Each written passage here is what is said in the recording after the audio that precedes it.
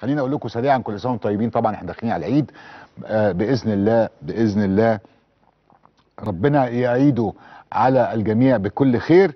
آه، مؤسسة حياة كريمة بدأت في توزيع 60 ألف صندوق مواد غذائية احتفالا بعيد الأضحى في إطار مبادرة وصل الخير 2 دي المبادرة الثانية وأيضا التحالف الوطني للعمل الأهلي التنموي كل الجمعيات الخيرية المصرية اللي بتاخد منك صك الأضحية وتكتب ولحوم الأضاحي وغيرها. هتبدأ أكبر عن حملة لتوزيع لحوم الأضاحي.